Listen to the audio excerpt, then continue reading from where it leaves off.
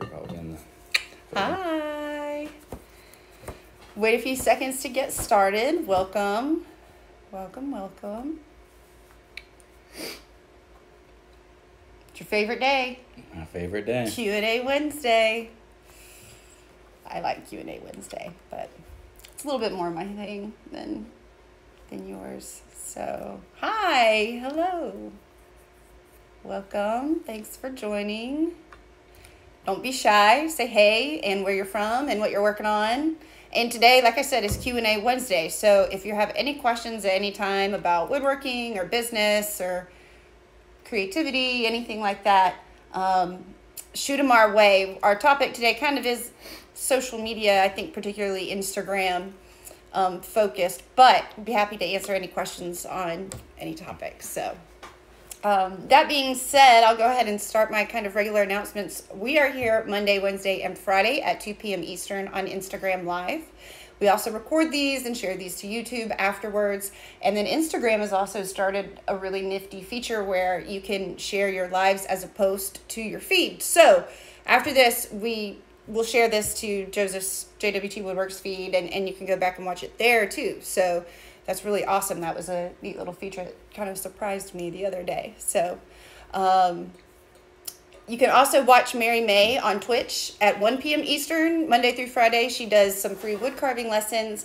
And then I have a weekly live stream on Wednesday nights at 7.30 p.m. with Women of Woodworking. And so I will have that tonight as well. And speaking of, I just shared the first profile that I've written in a while. She was from South Carolina. That's where we are. We're outside of Charleston. But uh, Jess Budnick. She's up near, um, she's in Clover, South Carolina, so near the border of North Carolina and South Carolina. And she makes jewelry mostly out of burl wood and gets her materials from her husband makes um, custom rifle stocks. So she gets the scraps from him and makes some really, really neat, funky modern jewelry that I like. So it was nice to, I don't think I've profiled anybody from South Carolina No? yet, believe it or not. So it was nice to, to have a hometown, home state feature Yeah, this time. With a familiar story, kind of. I mean, or uh, It at least a combination of, like, you know, or. and maybe that's why I like wanted to share it so bad. It was like almost identical with how I started my jewelry business. So, um, started working with you in what 2010, mhm. kind of designing and um, assisting, I guess you could call it, on things and doing all of the marketing and kind of admin side of stuff. But I really loved woodworking and wanted to do some smaller stuff and um, just saw all these beautiful shavings on the ground and was like, God, there's got to be something we can do with this. There's got to be something we can make. And so I started making jewelry actually out of the shavings off the hand plane. Um, and have since, you know, changed my technique, but may have made a bunch of jewelry using off the scraps. So to hear Jess's story where her husband was making these uh, rifle stocks, and I want to see them. I, I still haven't seen them. Like, uh, I'm sure if he's using burl, they're probably pretty gorgeous rifle stocks. Yeah. I mean, gun stock is usually, I mean, that's where it comes from, like the walnut stumps and um, where all the just crazy Yeah. grain is going on. Yeah. So um, I'll, I'll try to find his information too because I just I want to see that and, and see it because it's like the stuff she uses really pops. So I think he does like a lot of long range rifles. Mhm. So I'm sure there's just some really really pretty work out there. But um, Definitely appreciate the the the reverence of the woods. Like just so, it's so pretty. You don't want to waste a, a square inch of it. So that's perfect use for it. yeah. Because I always used to keep my offcuts thinking like, oh, it'd be a nice drawer pull or, um, you know. So I have boxes of drawer pulls, um, Tubs and tubs, tubs of drawer drawer pull material. Um, Yeah. That you know, you, once you put it in the box, you know, you forget about it. So it's nice for to go to something that's Yeah. going to be seen and used. Yes. So and there's a story behind it. There's always like a matching piece of furniture or something out there and hmm and people like that and it makes you feel good about what you make and and buying that too so Yeah. so yeah but um also i am teaching um, two classes next month at the florida school of woodwork a virtual workshop actually and that was kind of why we decided to talk about social media today is um, both of those workshops will be specifically social media workshops for makers or creatives Um, so if you are an artist or even just a hobbyist and are thinking about starting to share your work, um, these workshops be a great fit for you. Um, the first one is on Instagram, and the second one will be on Facebook. But basically, we just kind of go through everything and figure out how you can um, utilize these free tools. You know, you can have free social media accounts and actually generate business off of that, and um, just help demystify a little bit of the process behind marketing and social media. Um, and and we were saying like before we started like what our topic was going to be today and um, i said you know social media would be a good one especially because you were like one of my hardest clients to get going and um, basically like if anybody you know if, if joseph can he has never had a facebook account never you know no twitter none of that um, Don't own a computer. don't own a computer can't even you know i have a mac and he's like what you know? What is? it's like me trying to pick up one of your tools Yeah. but um so after a few years and uh, and being on Instagram for a short amount of time, I found that it was one of the better platforms for creatives and artists and and people that wanted to socialize and be on social media and share, but didn't want the complexity of Facebook, didn't want like all of that stuff being barraged at you all the time, all the drama that comes along with it.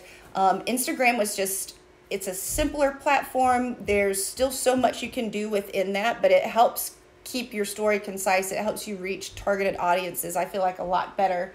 While Facebook is the biggest and most utilized social media platform, um, eh, there are a lot of, of cons to that. So, um, just talking about social media a little bit, after a few years and, and seeing what worked and didn't work, I told you that I thought you personally would like to use Instagram. And at first, I remember you're kind of like, eh, but then like once you gave it a shot, it just kind of, now you know, thirty-seven thousand followers later. Um, what has like surprised you about it? Like being someone that didn't want to do social media for a while and then getting onto it. What was something that surprised you about about that? Um. Pleasantly or unpleasantly? Well, I, most of it has been pleasant because I well, I really didn't know what to expect. Um, you know, like I said, not no, not using Facebook and um, not really being involved with anything like that. You know,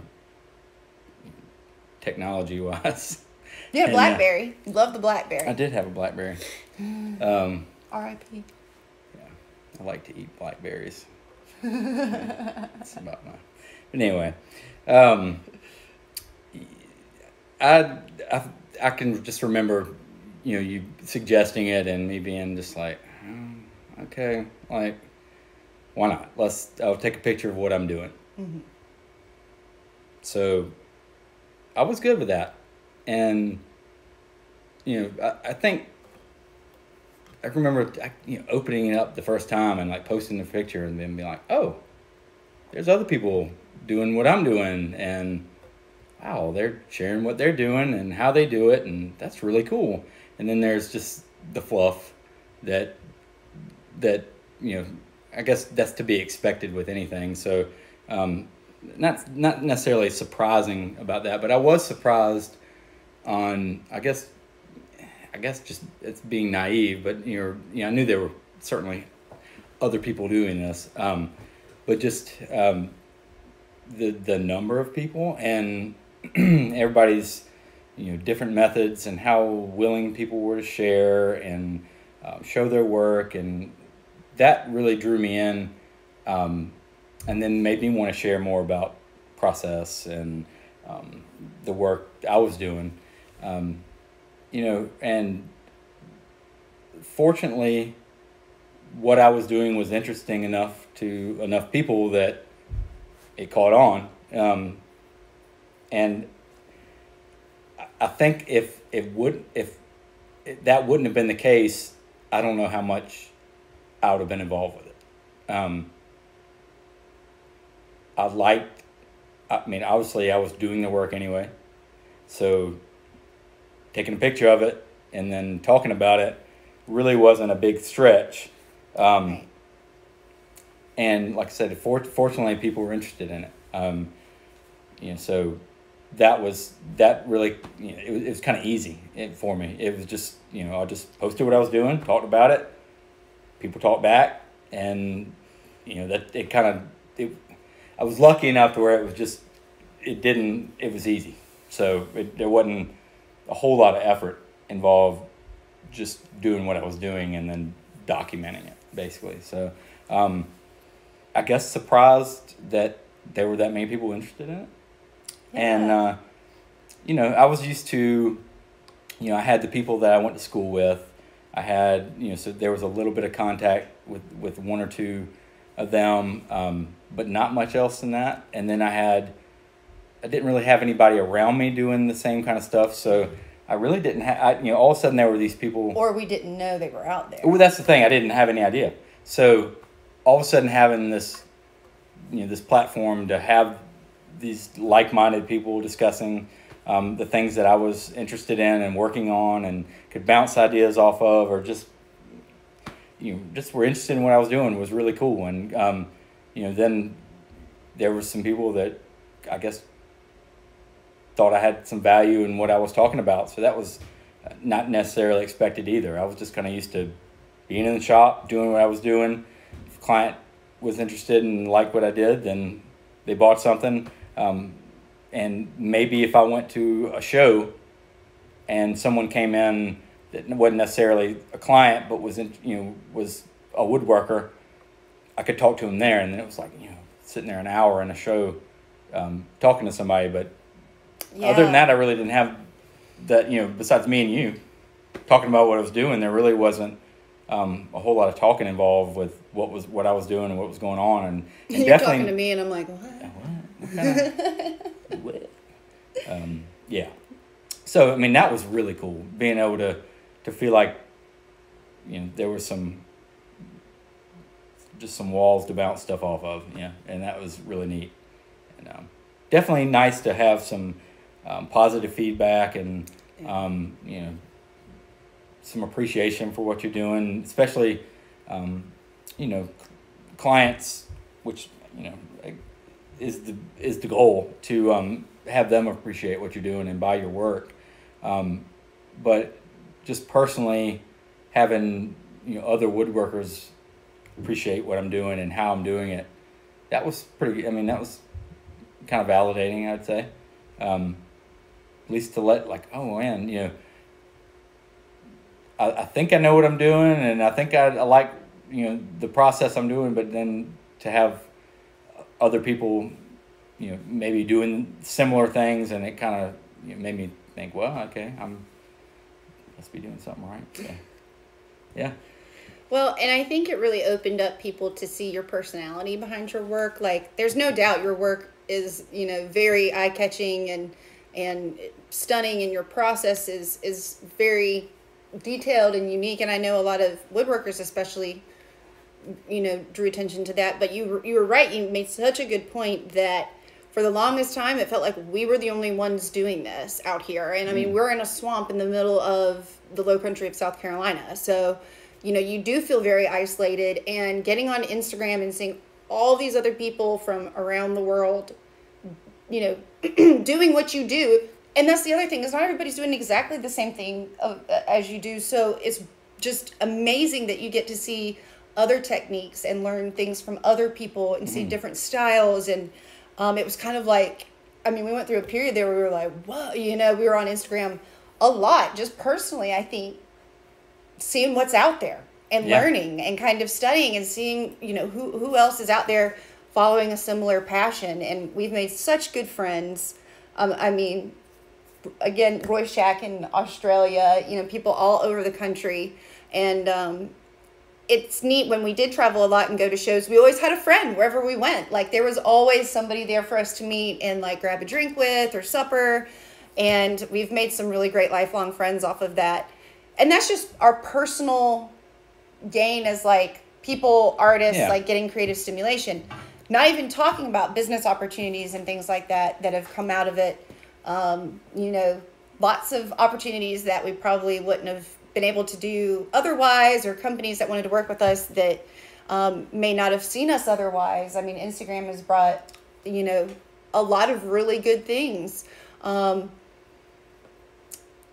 and also, again, just like connecting and building that community, I think it's fostered a lot of real, really good networking opportunities in person for people too. Like, ever since I've, you know, been following the Instagram connection you know there's a lot more wood guilds par- popping up. There's a lot more events that we're just more connected. So instead of it being you know a local market now it's regional now it's you know mm. national.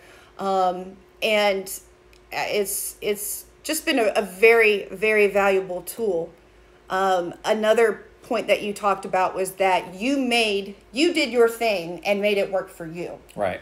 And that's a huge thing that I think a lot of makers and creatives struggle with. You know, you go on Instagram, you see these influencers, and they have tons of followers, they have sponsorships, and are doing all this, but you know things start to kind of look the same. You're not really sure what they're saying what are they promoting you know everything kind of gets a little muddied. And and not to say that being an influencer is a bad thing by any means. If you want to be strictly a content creator the thing is that is enough work for you to just do that all the time.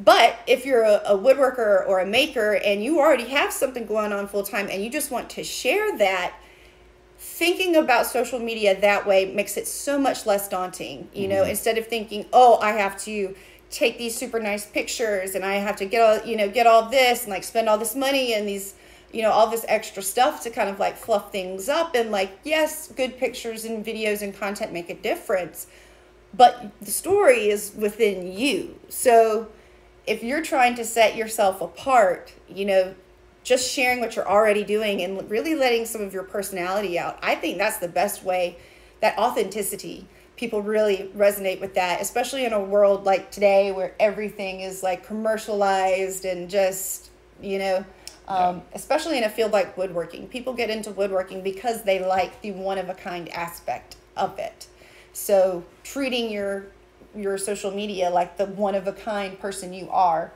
um, rather than trying to be like everybody else, um, that that seems to work for for a lot of folks. But, yeah, I mean, um, good work speaks for itself. So I mean, you, you, do good work, you do interesting work, people want to know about it, mm-hmm. and um, you know that's there's lots of stuff that can get you followers and, and all that stuff. And uh, somebody, I was watching somebody earlier today and they're like, you know, there's this groundhog that's got 200,000 followers. So, I mean, like. Oh, oh, Fred or whatever his I, name is. I don't know. I mean, is he the one eating the guy's garden? Yeah, the carrot guy, the, eating the carrots. So, I mean, see? like. See? I, you, so, know, you know, I know so, what he's talking about. Right. So, I mean, it's. He's really cute. So, I mean, yeah. but, uh, I can't remember what his name is. Anyways. Yeah. so I mean, there's there's but lots. Yeah, of... I mean, there's lots of ways to do the flash and and stuff like that, but um, yeah. good work. Good work speaks for itself. And, and also, who you who do you want to attract? Do you want to attract customers or people that are following you that aren't really fully invested in what you're doing, aren't really fully invested in listening to what you're saying? You know, if you put out it's kind of like the law of attraction. If you put out what you want to receive, you know, good content, informative content, you know, that sense of community, asking questions, talking and engaging, then you're going to get that back. Um, I know sometimes a lot of people just feel like they're like throwing spaghetti on the wall and like seeing what sticks. And you do have to do some of that, but especially in the workshop, you know, there's there's a lot of ways to use the tools that social media gives you to try to like maximize your impact on that and and to see what are people really captivated with that you're doing? What are mm-hmm. they really wanting to see more of or hear more about? Um, so yeah. And i mean i've mentioned it before but um, you know it's hard because at first when social media came out like sometimes people would contact you for things and you're like is this real? Yeah. Are you a prince in Nigeria? You know, like it was kind of, but you know, fall. It's sometimes it's important that follow up. I mean, that can, you know, let you know whether it's a spam or, or a scam, spam, same thing. um, or if it's actually like a legitimate opportunity. And we also have the benefit of having the rest of the internet out there so we can validate some of these folks, you know, like um, the art gallery I work with in California, they contacted me over Instagram. And of course, I'm first, I'm like, all right, let me check up and, and see what's going on. And like, sure enough. And so, you know, now it's, I mean, opportunities like that, um, you never know. You know, if you put yourself out there, you never know what will come back. That's right. So, so yeah, I feel like we've been talking like we always do during Q and A, and like, so if there's any questions or anything, like please interrupt us and send them in. We that's that's why we like to kind of pick a topic, um, and hopefully give y'all something to think about, and maybe you'll come up with questions later. Um, so yeah, but um, yes, I tonight we've got the Women of Woodworking live stream. That's also on Instagram. Um, Mary May is using Twitch, and it seems like she's having pretty good, pretty good luck with that. Um, Mary May is kind of the video maven of the woodworking world. I'll, I'll say that, like wood carving. Um, and I have not used Twitch, the platform, for um, myself. I don't have a lot of experience with it. But since she is on there, I've started engaging it more, and it seems like she's having good success with it too.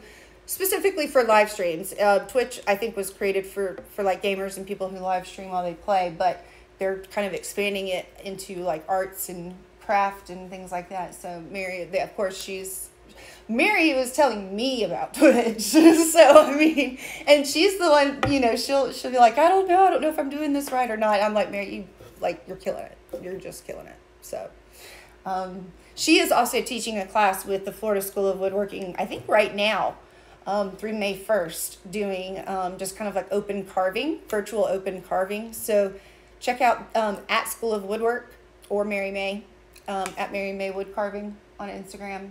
And there's other ways that you can connect with the community right there on Instagram and learn. So, yeah. so, I guess you want to talk a little bit about what you're kind of got coming up next. We, we saw the, the seat on the chair on the rocking stool. It's it's attached. Oh yeah. So, working on finishing that. Got a seat attached. Got some little detail work I'm trying to iron out, and then um, Literally. yeah, we got lots of dents. Sorry. Couldn't stop myself. dropping clamps on it. Dropping the chair on Yeah. the floor. Yeah. So yeah, I got got a little bit left to do with that. Pretty pleased the way it's turning out. Um, yeah. So little little details to iron out, and then you know doing the the finishing, and um, should be should be wrapped up pretty soon. You know, after that, um, got a wardrobe, I guess. Um, Pecky cypress. Um, it's a log milled myself um, before I had the sawmill. It was a used a chainsaw mill to mill it up. Some really pretty old growth Pecky cypress, which is gonna um, present its own challenges. Being if you don't know what Pecky, um, it's basically I can grab a piece. real Looks like fast. Swiss cheese. yeah, it's got a lot of holes in it. Yeah, you can Um, grab a piece. Um, yeah. So it's gonna be nice. Grab this tree. He said, I'm going to grab this tree, and it's like a tree. There we go. Can we get this, get this in here? So this is a rough piece, but um, a lot of voids in it. Color when planed is just it's uh I don't have a piece milled actually that little piece right there it is um Where is it? right here Oh, yeah, I'll show you. Little piece.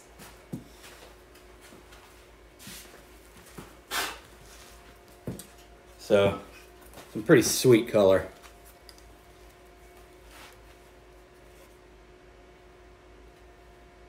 Yes.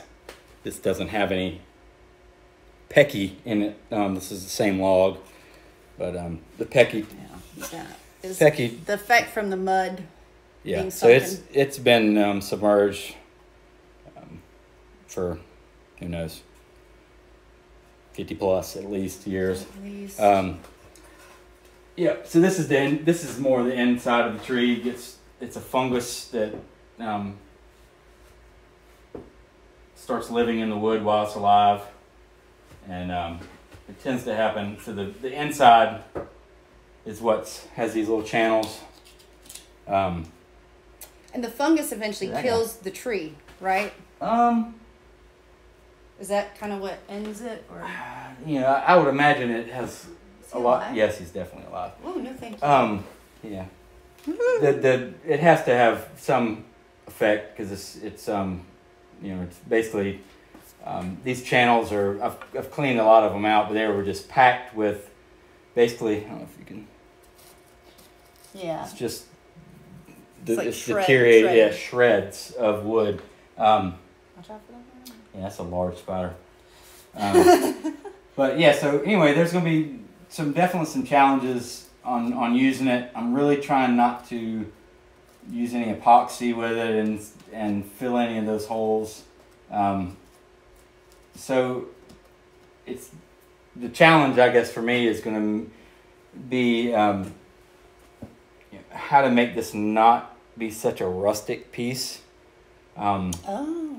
so a lot of times this was used, you know, back in like the seventies, it was used as paneling, um, and so I've never really seen a lot of fine furniture made with it. Um, so why not?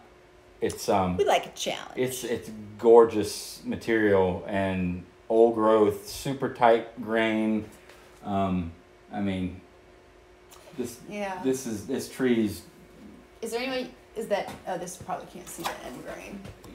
probably not. Um, A little bit there. But yeah, just packed I mean, real tight. yeah, some towards the outside, almost nearly indistinguishable. I mean, wow, 30, 40 rings an inch. Um, this tree's What did we say? Eight hundred. it's somewhere around 800 years old, probably, when it was cut. Um, so yeah, it's gonna be. That's Uh, how long it was under yeah, for and all yeah. that. Um, checking out what Buddy is.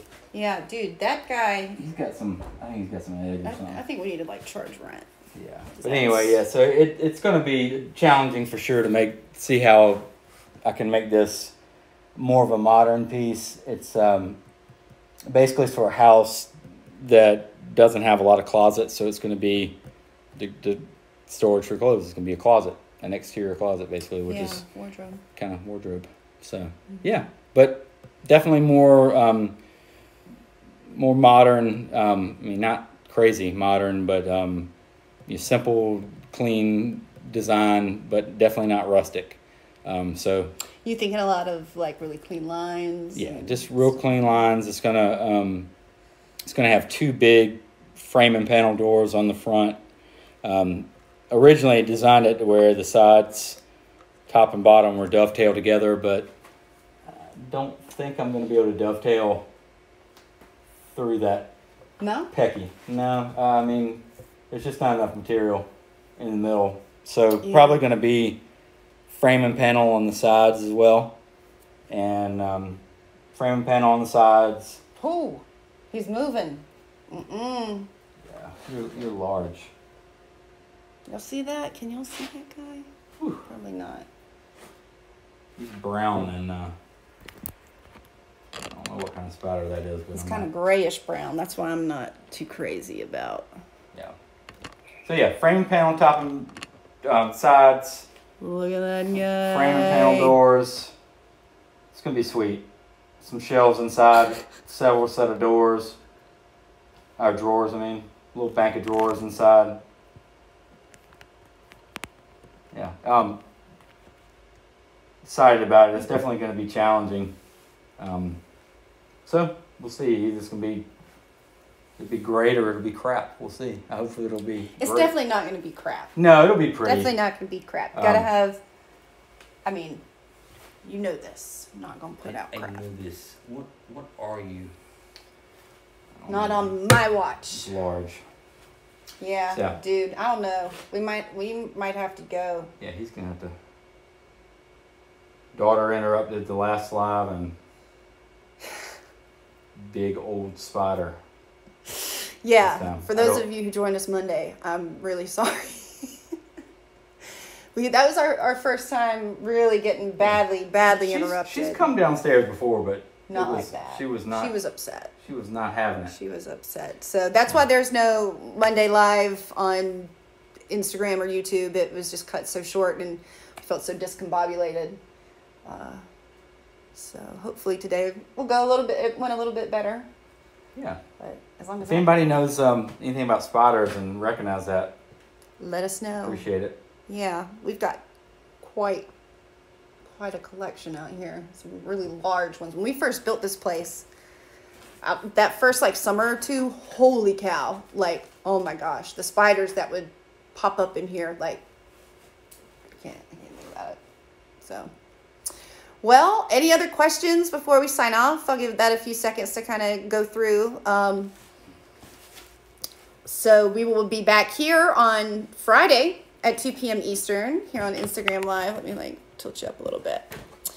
So yeah, we'll be back Friday at 2 p.m. Eastern here. Mary May is still at 1 p.m. Eastern on Twitch, Monday through Friday. And then join me this evening at 7.30 p.m. Eastern over on Women of Woodworking. I'm going to be talking with Jess Budnick of Blonde and Burl Wood Company. I think that's the name of, of her her tag. And um, so we'll be chatting with her and then also just hanging out, talking about woodworking. So yeah. Mhm. Yes. All right. Well, if there aren't any other questions, we'll let y'all go. Until Friday. Yeah. See you Friday. Thanks for tuning in.